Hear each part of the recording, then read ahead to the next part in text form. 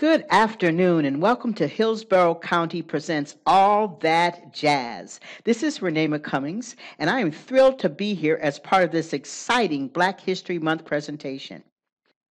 To get things started, I'd like to introduce you to your host and commentator for today, our very own Chief Human Services Administrator Carl Harness. Carl, I'm so glad to be here with you, and please uh, share with us what our viewers have in store for them this afternoon. Thank you, Renee. Good afternoon, everyone. I'm Carl Harness, Chief Human Services Administrator for Hillsborough, Hillsborough County. I'm proud to welcome you to our Black History Month celebration. Hillsborough County's virtual Black History Month jazz event, All That Jazz, we will discuss how jazz music transcends cultural differences and brings people together. These conversations will explore the African American experience through jazz music and its influence on American culture. But before we begin, Board of County Commissioners, Commissioner Gwen Myers and Commissioner Kimberly Overman and County Administrator Bonnie Wise would like to say a few words. Commissioner Myers will speak and present a proclamation recognizing All That Jazz Day. Commissioner Myers, welcome. Thank you, Carl. I cannot think of a better way to celebrate Black History Month than to explore the wonderful art of jazz music, how it has strengthened African American culture, and how it has wonderfully ability to bring people of all races, culture, and creeds together. The late, great Louis Armstrong once said, if you have to ask what jazz is, you'll never know. I couldn't agree more. Jazz is more than music.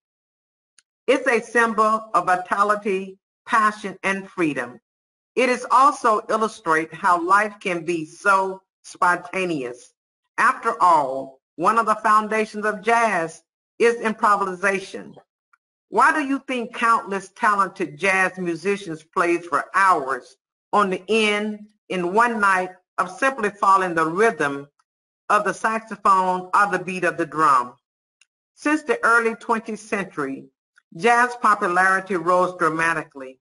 It has helped black musicians to explore important topics and themes that serve as a foundation of our heritage. Pioneers like Louis Armstrong Ella Fitzgerald, have inspired future generations of jazz who keeps the rhythm of the culture alive. These future generations include Herbie Hancock, Branford and Wynton Marsalis, Keith Jarrett, and especially these three talented musicians who are joining us today, Jasmine Gant, Charleston Singletary, and Dr. Jose Valentino Ruiz. I hope all of you enjoy all that jazz. To commemorate this event, it is my privilege to present this proclamation declaring February 25th, 2021 as All That Jazz Day in Hillsborough County. And the proclamation reads, whereas music has the ability to interpret and influence people's feelings, serving as a powerful means of communication, and whereas more than many other forms of artistic expression, jazz embodies the synthetics of different cultures in a harmonious ensemble, and whereas improvisation and interpretation are extensive components that help make jazz in every renewing form simultaneous with freedom both for players who are free to invent and create each time they play and for the listeners. And whereas a unique American institution, jazz was created in the African American communities in the late 19th and early 20th centuries, with New Orleans and its diverse population playing a major role. And whereas as people of African, French, Caribbean, Italian, German, Mexican, American Indians, and English descent interact with each other.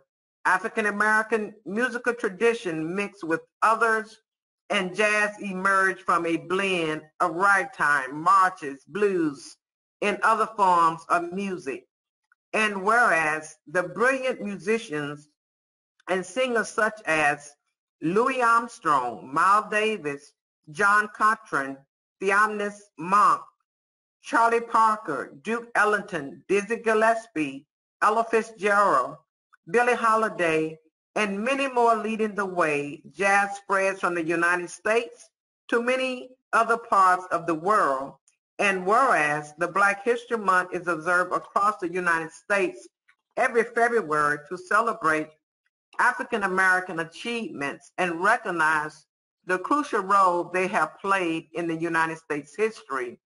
And whereas the Hillsborough County African American Heritage Committee is proud to present All That Jazz, a retrospective on how jazz music transcend our cultural differences and bring people together.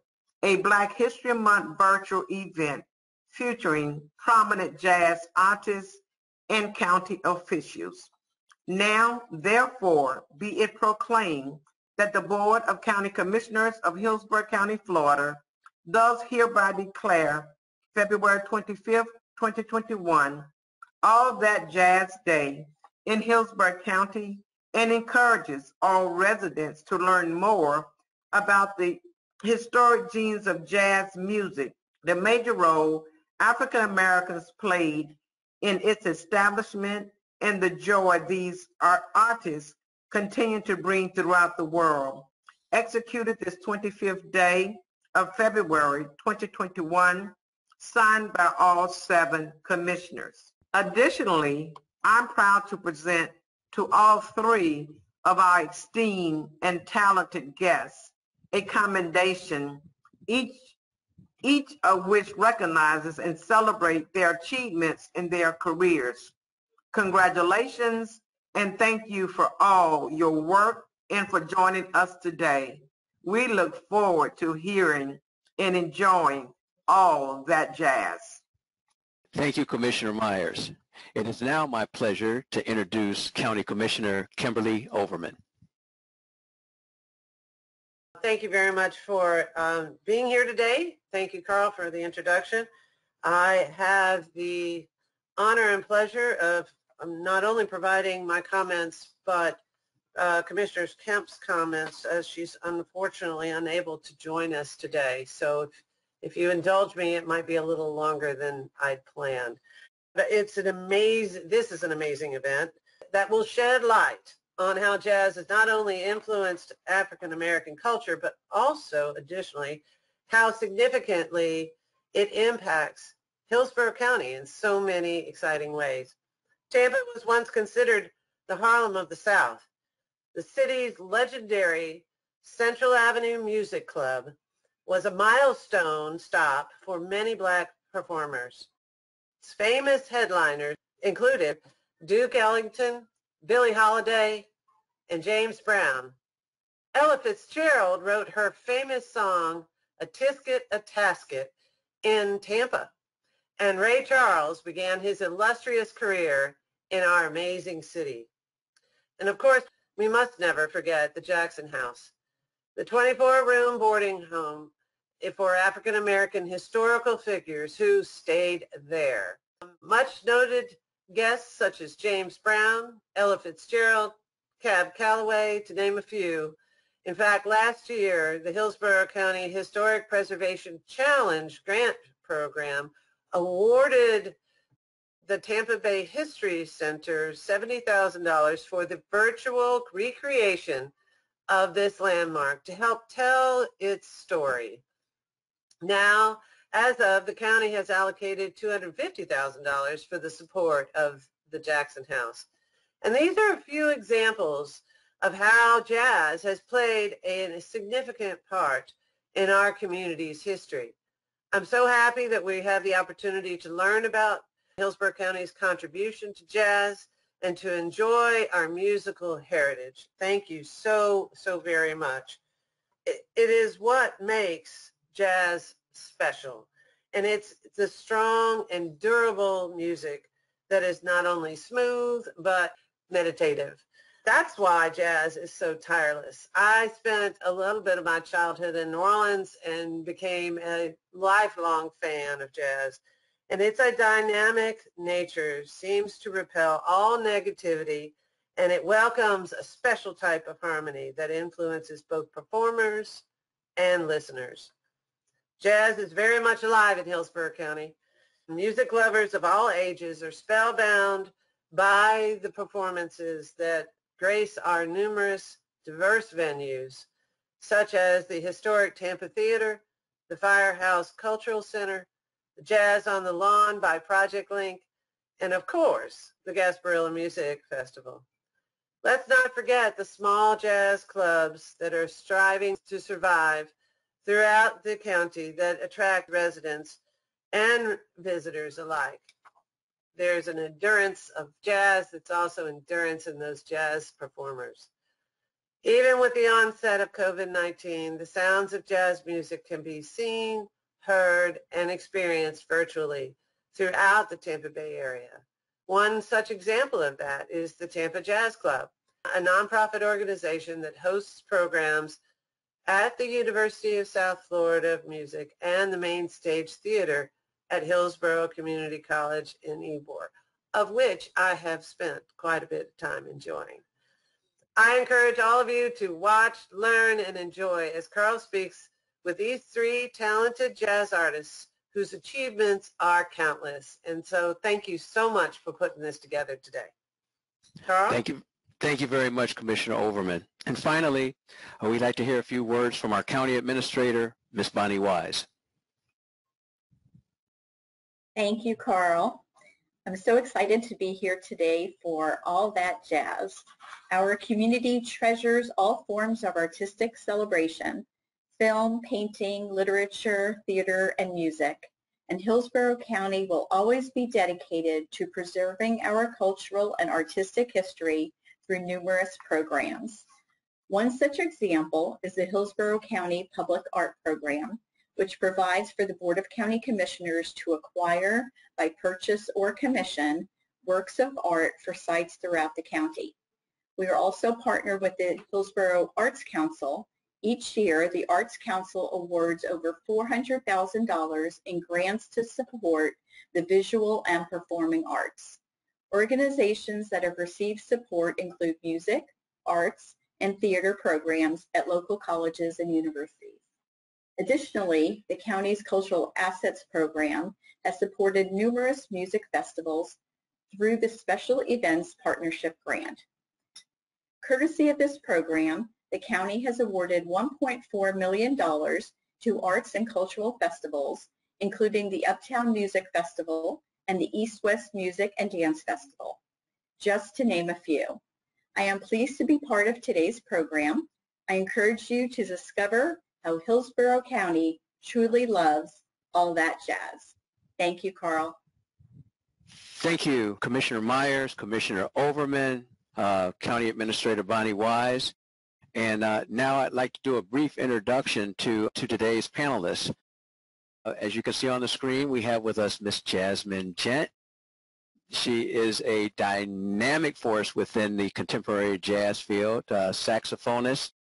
Uh, she hails from Huntsville, Alabama. However, we are very fortunate that she now lives in our area. She currently lives in Lakeland, Florida, and she has taken her talents all over the United States and abroad, and we are very happy to have her here, and you'll hear more about her later. We also have with us Mr. Charlton Singleton, native of Charleston, South Carolina, very much known for his skills on the trumpet, his direction of jazz orchestration, and, and many other talents which you will hear about. Charlton also is a, a very celebrated uh, artist.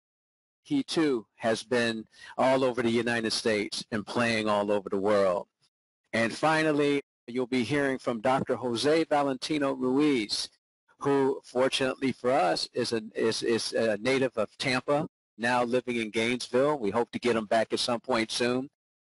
Jose is a, a multi-instrumentalist, also very renowned for his playing. Jose has taken his music again throughout the country and throughout the world, and you'll be hearing more from him a little later also. Carl, I have to tell you something. As a as a lover of all music and not the aficionado that I have learned that you are when it comes to jazz, I am so excited to be sharing this time with you and to, to learn more about jazz, to learn more about how it has transformed our culture and our country and the contributions of our guest uh, musicians today. I have to also say that it is so exciting to be a part of this day, this All That Jazz Day, and to hear from our commissioners and our county administrator uh, and welcoming this great occasion. So with that, let's go ahead and just launch right in. And can you tell us a little bit about our first guest? And that would be Charlton Singleton. Sure, Renee. Charlton Singleton, as I had said earlier, is a talented multi-instrumentalist from South Carolina. He's South Carolina native, widely known for his skills playing the trumpet. He is the co-founder and he has conducted the Charleston Jazz Orchestra in addition to leading his own jazz ensembles in various sizes and styles. Charlton also does little contemporary jazz and obviously he does traditional jazz. Charlton has performed throughout the world and the United States and and this is this is critical here. He is the he's the founding member of this new ensemble that you know some of you may have heard of called Ranky Tanky. This group is a quintet that interprets it, interprets the sound of Gullah music. Gullah is a culture that originated among descendants of enslaved Africans in the Low Country region of the Southwest United States. And Ranky Tankies, with their their sophomore release, Good Times, uh, they recently recently won a Grammy Award at the end of 2020 for Best Regional Roots Album. So, you know, we are very proud of, of Charlton and Ranky Tanky for that. And I wanted to congratulate Charlton and the band recently on receiving that Grammy Award that recognized Gullah music and its historical contribution to music and, and Charlton, you know, I, I, went back and I watched your Grammy acceptance speech, and, and I, I, noticed that there was this this this raw sense of emotion came out as you spoke about Gullah music finally being accepted within the mainstream of the music industry. Ranky Tanky is more than the name of of, the, of your band. Tell us about the significance of the name to the music you play and its origin of Gullah and the origin of Gullah music. For absolutely. Well, first of all, thank you for having me, Carl. Always good to uh, hear when you call me up. I'm like, where, where are we going? What are we doing? Let's go. well, with regards to Gullah, uh, first of all, you got to understand the, the, the, the Gullah Geechee corridor, which is basically a set of islands that start on the southern uh, coast of, of North Carolina and it stretches down the coast of uh, South Carolina, down the coast of Georgia, and to the top of Florida around the Jacksonville area. And along the coast, just off of the mainland of the United States, you have all of these little islands. And um, these islands for many, many years were only reachable by boat. But on these islands, you had former, uh, many, many, many years ago, we're talking, you know, um, 18th century and stuff like that, going back that far, uh, you had former West African slaves that lived on these islands. And they were able to maintain a lot of things, how they, how they prepared food, how they entertained themselves, how they worshiped, how they did arts and crafts, a whole bunch of things. And so um, the, uh, a, a, unique language that they that they sort of came up with. That's the Gullah Geechee corridor, as we call it. With regards to Ranky Tanky, Ranky Tanky is actually a kid's game. Now, there's so many things from the Gullah Geechee community or the, the, just the Gullah community that you probably have come in contact with over the years, but you probably didn't know that that was the origin. Things like sweetgrass baskets, songs like Kumbaya or Michael Row the Boat Ashore, all of those things are uniquely Gullah. With Ranky Tanky, that's actually a kid's game. And if any of you all have ever played patty cake or something like that, or seen little girls or, or boys or kids playing that, um, the the whole thing about them doing that and clapping on beats two and four, that's uniquely Gullah. So there's a particular game that these kids would play called Ranky Tanky. And the song goes, old lady come from Booster, had two hens and a rooster. The rooster died, the old lady cried, now she don't eat eggs like she used to. Pain in my head, ranky tanky. Ranky tanky loosely translates to mean to work it or get funky with it and you want to sort of shake it off basically. Uh, pain in my head, ranky tanky. Pain in my hands, ranky tanky. Pain in my feet, ranky tanky. Pain all over me, ranky tanky. So imagine kids doing this. It's a, it's a game. It's a game that they would play outside or on the playground nowadays or something like that. We loved that particular game and thought it was a catchy title. Um, and so we decided to name our band after it. And um, it's worked in our favor very well. I believe we have a clip that we're going to share with everybody uh, regarding the uh, Ranky Tanky demo.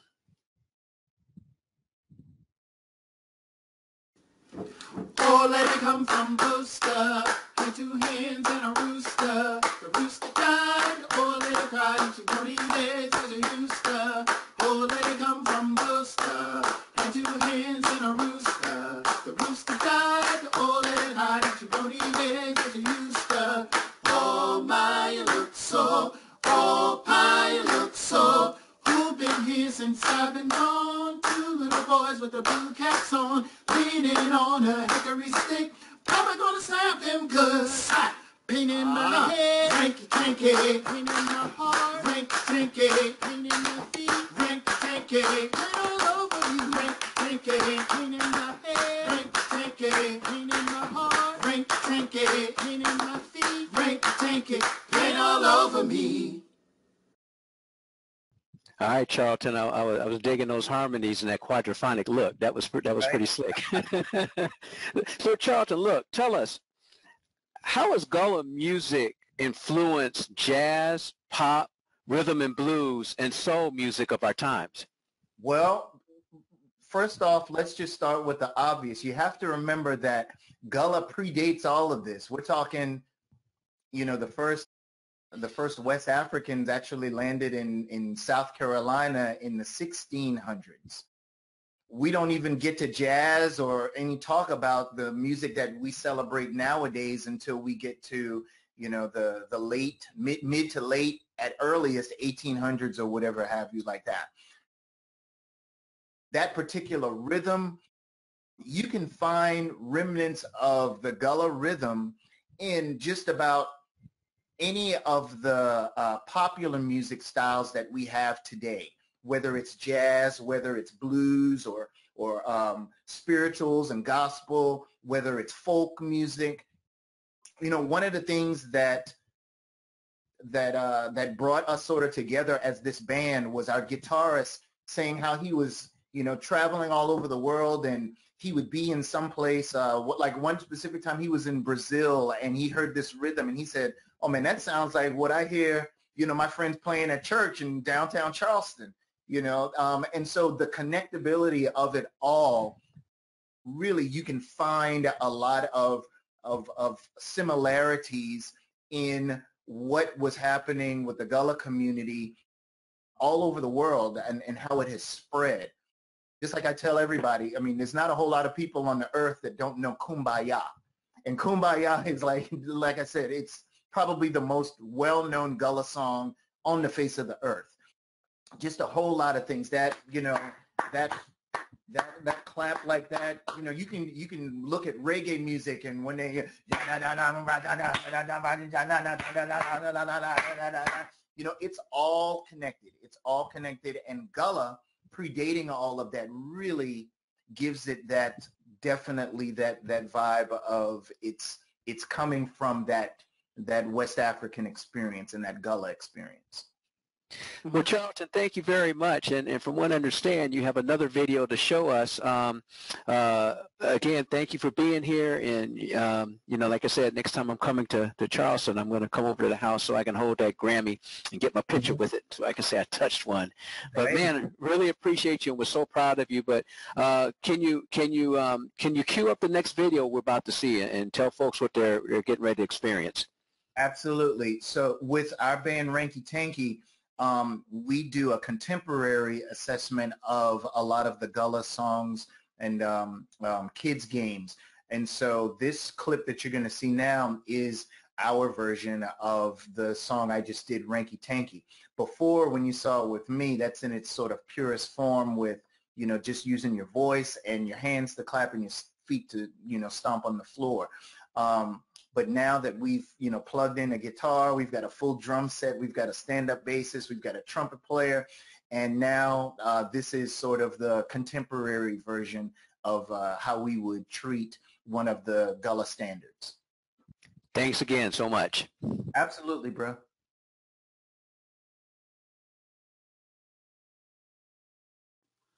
Who is the greatest? We are the greatest. Unsure, Yeah. positive, Yeah. definitive. Yeah. All right, all right.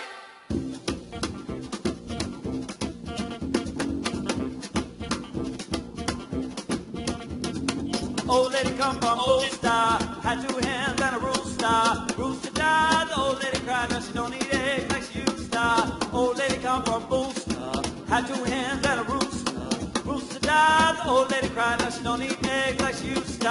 Oh my, you look so, oh pie, you look so.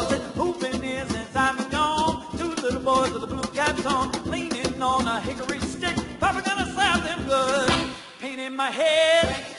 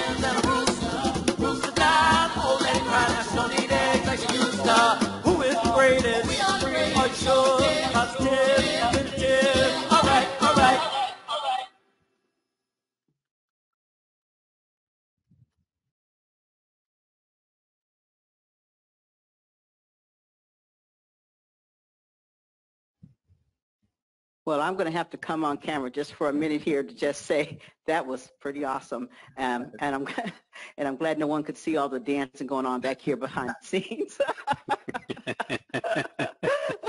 so, so I'll be hiding off camera, getting my groove on. All right. Uh, thank you so much, so much, Jonathan, for your contribution. Oh wait, and, and Commissioner Overman, she's saying yes, same thing, yes. I was doing the same thing. I was like, oh boy, that's awesome. That's terrific. Thank you so much for sharing that with us. Absolutely. no Oh, that was awesome. That was awesome. So, so okay, and I guess since I'm on camera, and I'm, I'll just kind of stay on for just a minute here.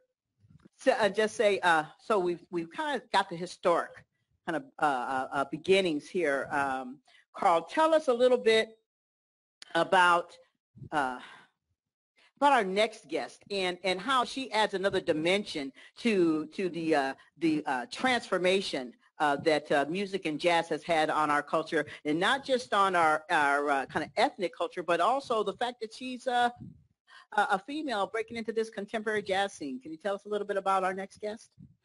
Sure, Renee. Uh, Miss Jasmine Ghent is one of the most sought after national smooth, ja- smooth jazz and recording, recording artists today. Uh, Jasmine is also an accomplished educator for students grades K through 5. Uh, Jasmine was recently invited to, by the U.S. Embassy in Haiti to spend seven days in Haiti presenting music and workshops to adults and children. Jazmin also has the distinct honor of being voted 2017's Best Smooth Jazz Artist by Billboard and was winner of the prestigious 2019 NAACP Image Awards for Outstanding Jazz Album entitled The Story of Jazz. Jazmin currently has three top charting singles on Billboard. Renee, I believe you have a clip that you wanted to show everybody on Jazmin. I do. We're going to start that right now.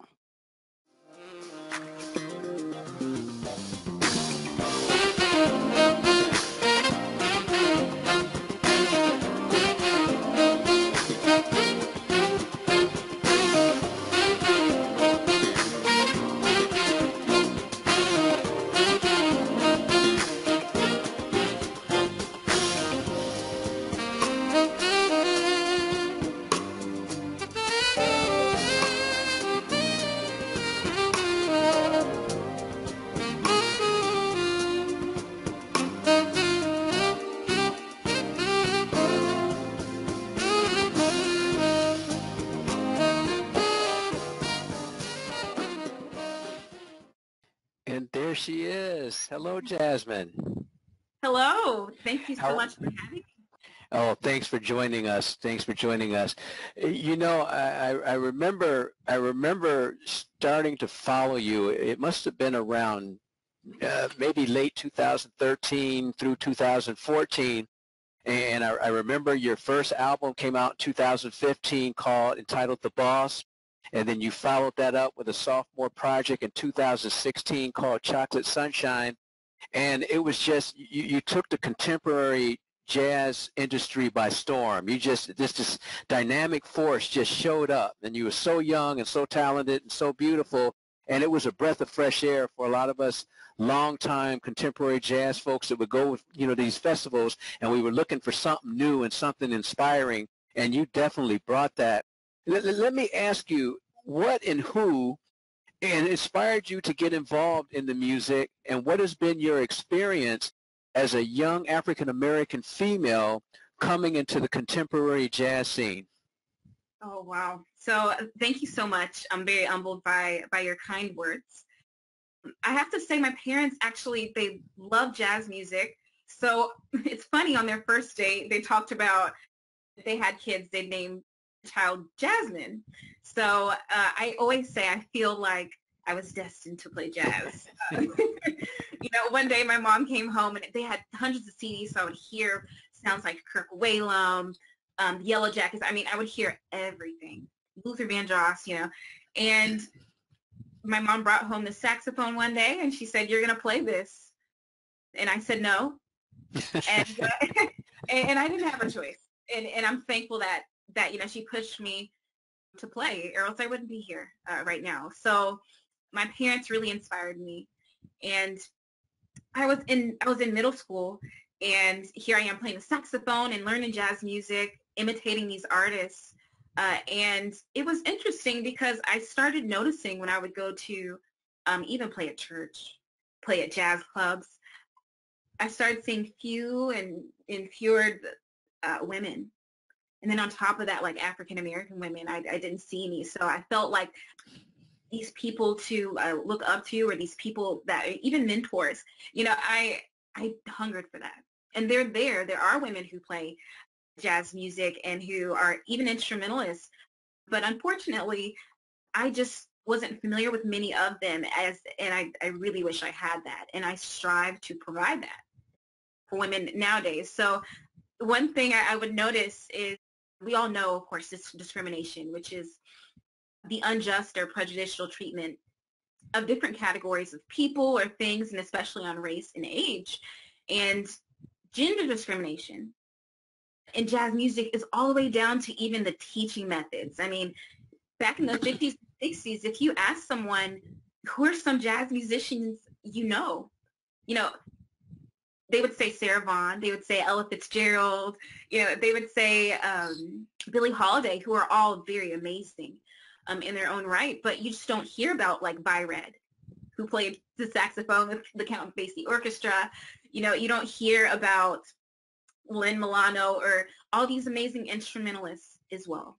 So uh, with that comes comes things like tokenism, where you're one of like very few women. Uh, I remember in college, I was uh, one of three women uh, out of 50 jazz students. So, and it, it provides immense stress because you want to, to debunk the stereotype that women can't play and, and, you know, all they can do is, I mean, we have gender roles in music, like um, the mother role or the seductress role. And I, so these things don't only take place in society, but they also take place within music. And again, I strive to change these. I, I remember my first experience with gender discrimination. I was in uh, middle school. I was going to high school. I went to this jazz camp called Jamey Aebersold Jazz Camp. And you have hundreds of musicians from all over. Uh, and they're auditioning for these um, jazz combos and, and quartets. And I find out my placement. I had my audition and I go up to the door, knock on the door, and I'm like, I'm here. I'm here for us to play and practice. And I said, is this room four for rehearsal? And they looked at me and it was five men and they said, yes. And then they closed the door. and um, so that was like, oh, like I, I didn't know how to respond, didn't know what that was. And I just had grown accustomed to these types of environments. And, you know, again, women see that and they think, you know, I can't do that because women are supposed to sing. Women are supposed to play uh, play orchestral instruments. You know, it, it can be uncomfortable. And so I I'm thankful for all of those experiences. There's pros and cons with everything, but I think if anything, I would like to be uh, that that role model and just again stop a lot of these uh, tokenism situations, stereotype threat where you're having to prove um, people wrong. Okay, and, and I and I think um, you brought a, a, another video clip with you um, to, to, to show the audience. Um, can you tell us a little bit of something about Heat? Yes, yes. So that actually came off of my third CD, uh, and it's entitled uh, "The Story of Jazz," and, and it that CD just exudes a lot of things that have um, happened within my life up to that point. So uh, Heat is just a fun Latin song, and I actually have a new CD that just came out, uh, Forever Jazz. So, in a, a continuation of the life story. But yes, that's Heat. All right, let's let's check that out.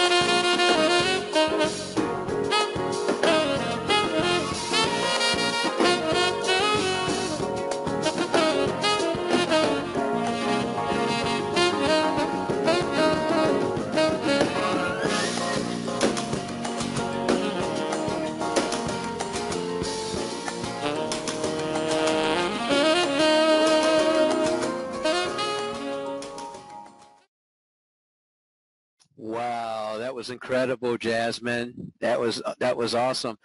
Uh, those of you folks out there, you got to get that latest CD and get other CDs too. I'd like to, I'd like Jazmin, I'd like to ask you one more question because uh, I know this is an important part of your life, and and I'm sure you serve as a role model to many African American young women and non-minority young women and girls out there seeing you do what you do. Uh, tell us real quickly why teaching music to children in the classroom and and as we had talked about earlier, you going to Haiti. Why teaching music to children is so important? Oh my goodness, because that's the foundation. I, the purpose of teaching is for us to prepare our students for for the world to be um, citizens to make an, a difference and an impact. So that's I feel is the most impressionable time. You know, I saw um, a study, and it's by uh, an amazing music philosopher. Her name's Lucy Green, and the study was saying was showing that teachers actually are the ones who influence these students and say, hey, girls are the the ones who sing and boys are the ones who play these instruments. Girls do this. I mean, so it shows how impressionable teachers can be. So I want to leave um, the right impression and a lasting impression on my students. And actually now I'm, I'm teaching on the collegiate level uh, at USF and getting my doctorate. So I want to be able to um, teach and, and expand um, and as I always say, just be on my purpose. Well, Jazmin, let me tell you, not only are you leaving a lasting impression on your students, but I think you're leaving a lasting impression on all of us uh, for all of your accomplishments and, and, and everything you do and everything that you're destined to do. And we're just glad to have you as a member of our community. And I'm just grateful that you were able to take time out to join us today for this event. Renee? Honored to be here. Thank you. I echo that wholeheartedly, and and I'm just really glad that uh, uh, your mom didn't give up when you said no. I'm really glad that you persevered when the door got closed in your face.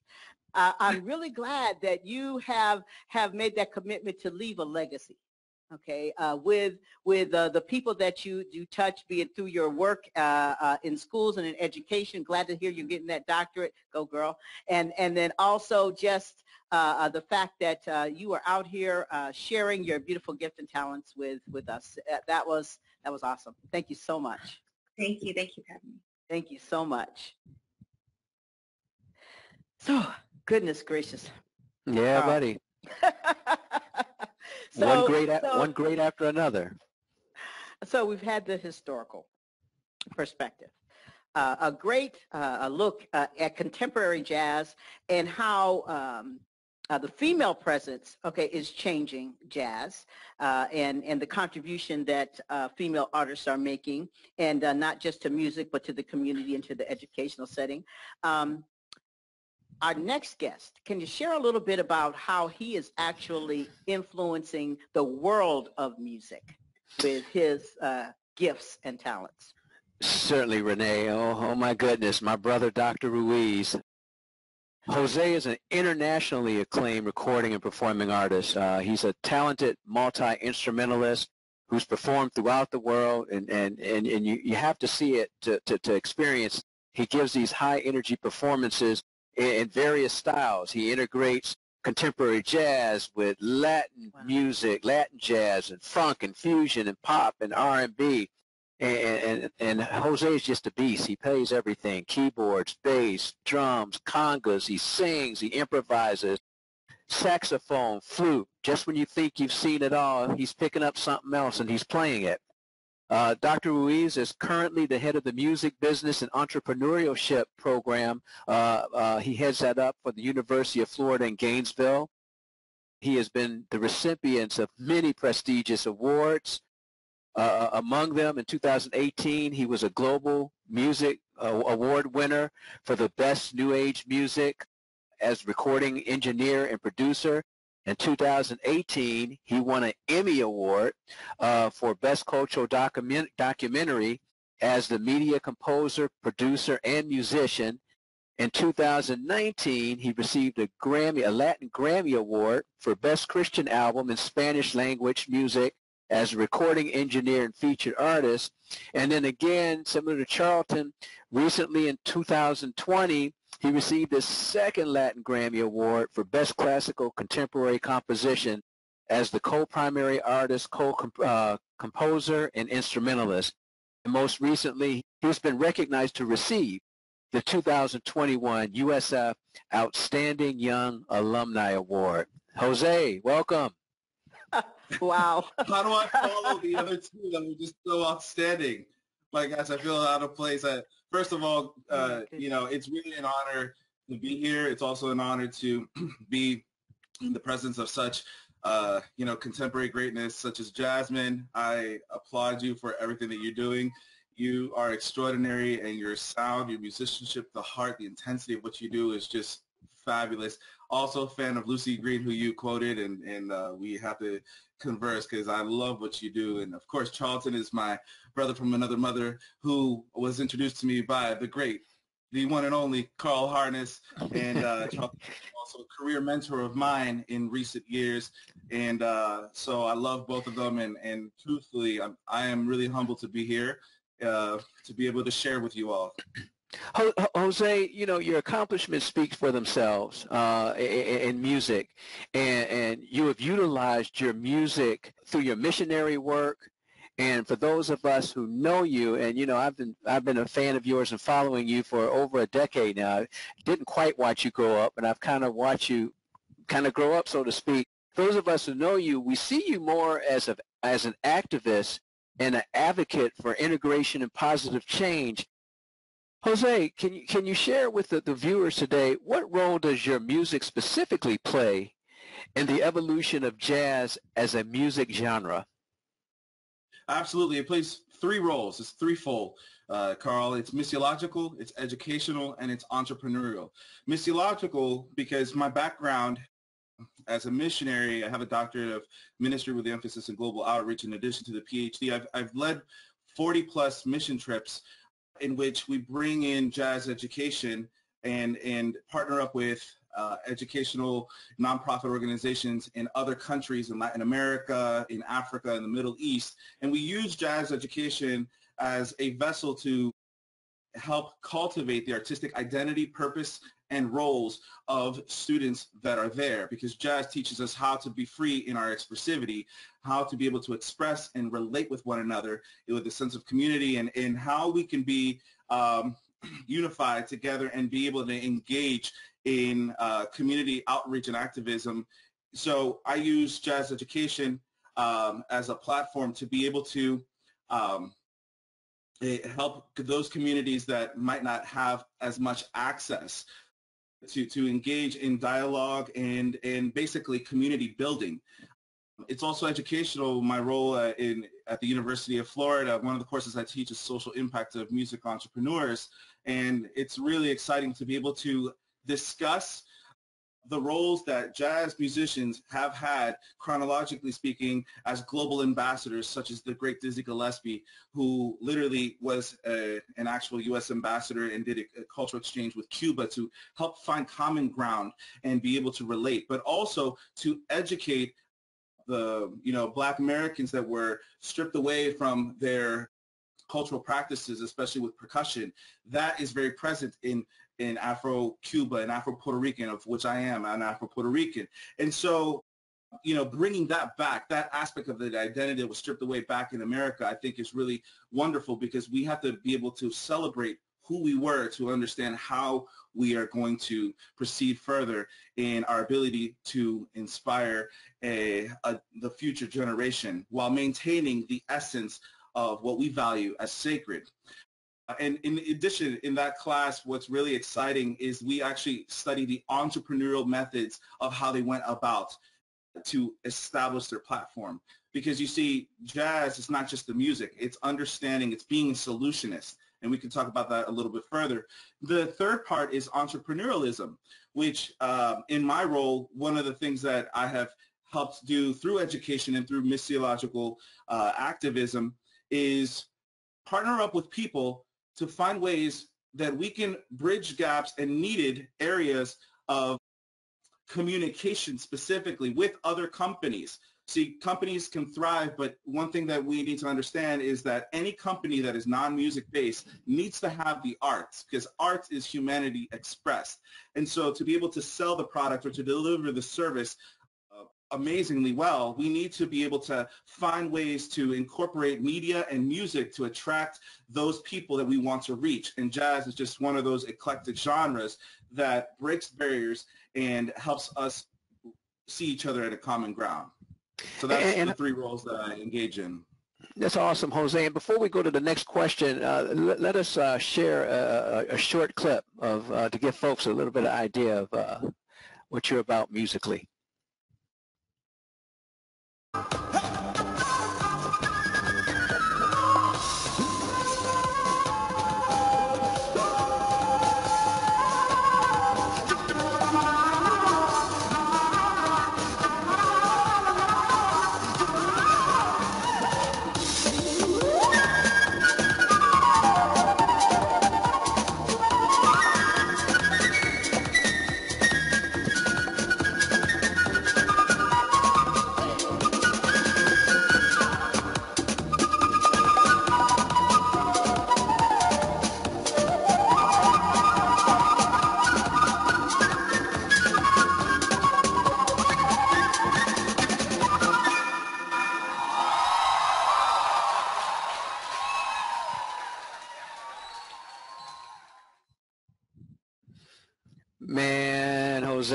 Some serious flute playing there, my brother. yeah, well, that was interesting because um, that see that's just an example. You know, I mean, if you were to look at uh, my website, you would see a lot of photos and all kinds of different settings. Uh, and and really, I don't need to always play at the Carnegie Halls or at the RCA Dome. You know, if you get me uh, in another country, out in the street, you know, in a local community that just needs to be able to hear something that empowers people, I will do it. You know, all sweaty. In this particular context, I was invited at a university, and they were wanting to see how we can, they wanted to see a representative model of what, uh, you know, cross-generational and cross-cultural expression could look like. And so the cross-generational aspect was the fact that we're using, uh, you know, jazz elements, but also contemporary elements and mixing it with the music of today, which, you know, in this era of AI and digital technology, there you go. I produced all that music um, really quickly, but then, uh, you know, and we have that kind of electronica but then we have the cross-cultural elements, which you saw the congas there, have the Puerto Rican flag there, represent woohoo, right? But then the music that I was playing was the tinges of Middle Eastern expression as well at the beginning, right? And so then there was towards the end a little bit of, uh, you, you know, some African elements uh, with my improvisation, things that might not be as noticeable, um, but that's not what matters. What matters is, is that people see and can and can sense, um, you, you know, subconsciously uh, the unity of, of cultural understanding embedded within the music. I, I definitely have to say before I go off camera, the intensity was what I, I gathered. The the the ferociousness with which you uh, play such a delicate instrument. I, I think I mentioned to you the idea that the flute could be a percussion instrument is something that kind of mm. warps one's mind. Yeah, that that was, was awesome. I'll go back to my corner Renee, now. you, you should see it. You should see him when he turns that flute into a funk instrument. Yeah, that's a whole oh, different Oh, story. wow. Jose, we, we, we do have a few more minutes, and you you had mentioned something that I think is very important, and we have talked about this before. You you talk you talk about entrepreneurialism. Let me ask you real quickly: What are the opportunities for the next generation of jazz entrepreneurs to influence positive change and expansion at the local and international levels? Yeah, absolutely. Well, let me tell you, jazz musicians are solutionists. Okay, let's get that out of the way. We are solutionists. So some of the opportunities, quite frankly, considerations for both jazz musicians, but also for, you know, non-music professionals who are involved in different institutions, corporations, initiatives, let's say even with the county. And you understand this so brilliantly, Carl, is that jazz musicians are solutionists. So nonprofit organizations need to strongly consider partnering up with jazz musicians because we are engaging in improvisation all the time. You see, there's four stages to the creative process, and we have a, oftentimes people have a strong desire to want to seek solutions and the results of a strategic initiative, but the creative element needs to be there. And so you can literally employ jazz musicians, whether it's on a project uh, initiative or even just to have on staff somebody who, yes, is a musician, but even outside, they know how to find the avenues where it may appear that they don't exist. And so, you know, a, a true jazz musician is always seeking solutions to be able to bridge gaps uh, for cultural understanding, for educational initiatives, um, just generational translation, because that's another thing is that we might have really strong initiatives to uh, want to em empower a community, but how do we translate those initiatives to people that uh, might that might need to have that translation. I'm not talking about just language. I'm talking about where it really sticks to the intent, to the mind. The renewing of the mind is really important. And I'm not trying to be new age. I'm just talking about the renewing of the mind, just understanding of what possibilities are there for different communities, for them to, you know, starting with the household, for people to really understand the opportunities. And so jazz musicians know how to translate that through songwriting, through coming up with media content, which I think that's another thing is that, you know, jazz musicians, they need to find ways to engage with the county, with the community, to engage in cultural ambassadorships. Uh, jazz musicians should embrace technology to become the respective media production companies as well, because every company needs a good jingle, right?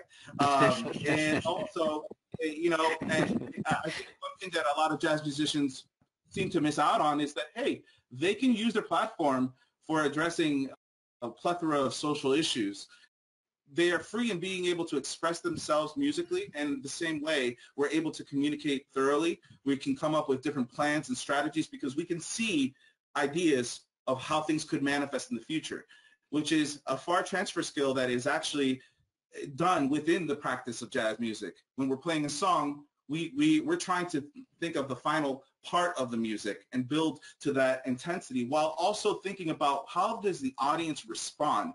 This product that we're going to do how do they receive that message that product that service? And so there's a lot of you know intersection and parallels with entrepreneurial thinking and what it is to be a jazz musician so those are just some suggestions that i would recommend uh, jose that's why i call you the the, the music visionary because you, you truly are a visionary Look, I know I know that you got a classroom of students waiting for you, and we do. We're going to end the program with you. I want to thank you again for taking your time out to, to come do this for us. And um, I would like you to any final words you have, and I'd like you to set up set up what we're about to see in this last video in terms of what inspired you to do it, and you can take us out the name of this video is, or this composition that I did, uh, which I did the production in Tampa. It's called Time to Wake Up. Okay, and you'll notice how in the percussion, I'm, I'm basic, or the flute, I'm using it as a percussion, and what you're hearing is the musicians, you're hearing the musicians literally kind of sounding like they're just waking up, like something's about to cook, right? and so these types of presentations should serve as an inspiration, but rather than just inspiring, which the etymology of the word inspiring in the Latin means wind of revelation.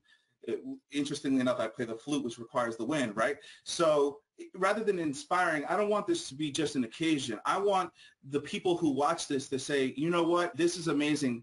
I want to be a part of this movement. I want to see, can I make a phone call? How can I help?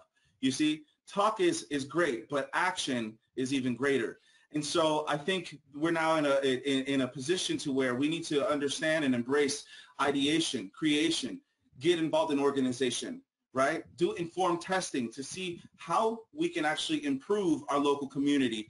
And this includes jazz musicians to get involved. And I would say for those who are the gatekeepers, who are not musicians, but that do have influence within the community, to have a conversation, deeper conversation, listen to the innovative ideas that uh, so often just spawn and and you know with, among jazz musicians and so i think this is an amazing opportunity and what the song talks about is just serving as a sort of a musical sonic descriptor of the intensity as renee mentioned that i play with the sense of urgency for us to actually get things done because at the pace we also need to not just um, maintain the quality of of the impact of the service of what we're doing, but we also need to do it with a sense of urgency.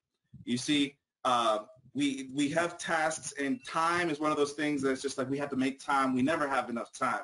So what we have to do is know how to compartmentalize unimportant tasks, important tasks, and how to convert those important tasks to urgent tasks.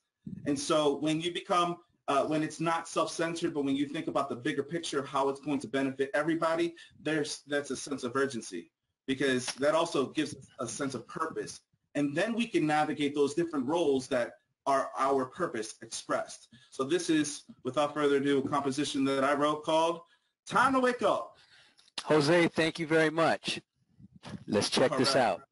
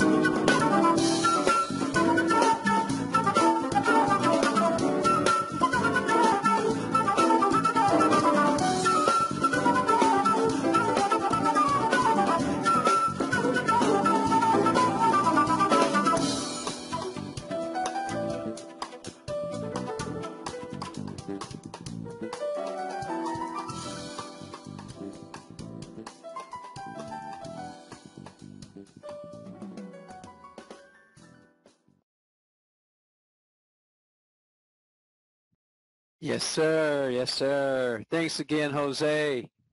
Woo, man. Wow. Wow. Yeah. I I definitely would have blown my cover. You guys couldn't see couldn't see that at all. That was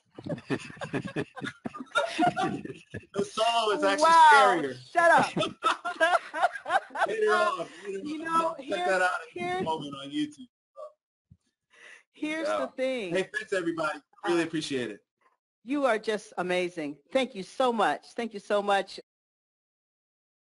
uh, for all three of our guests. I, I need to see when you all are going to play near me. And when we're free to roam the cabin, as I like to say, I'll travel to see you. I will. I will travel. I will.